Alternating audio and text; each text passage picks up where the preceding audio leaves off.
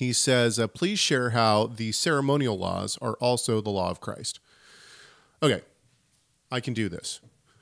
Let's first we will address the idea that there are such thing as ceremonial laws. The Torah never gives any categories of ceremonial, moral, or civil laws. That is man-made, and the idea that the Torah can be broken up into that uh, is simply not correct. And I have linked a video that I just released on the, that exact topic. Can the Torah be broken up into civil, ceremonial, and moral? And the answer is absolutely not.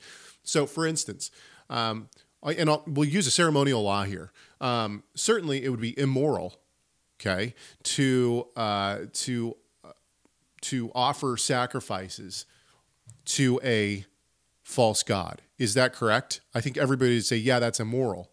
However, people say that we're not supposed to sacrifice anymore because it's a civil law. So which one is it? Is sacrifice a civil law or is it a moral law?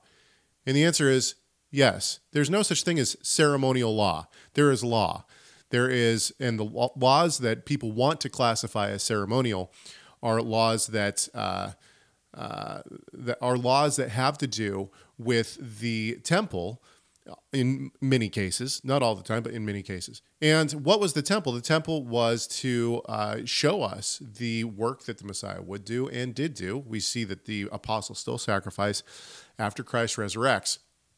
And so ultimately, um, these are laws that have to do with uh, God for our own so once again moral laws they're moral laws. We but they connect us to god. So if we think of that if we think of that uh, category of love the lord your god with all your heart the ceremonial laws quote unquote even though i reject the idea that there are ceremonial laws would be underneath the god tab right?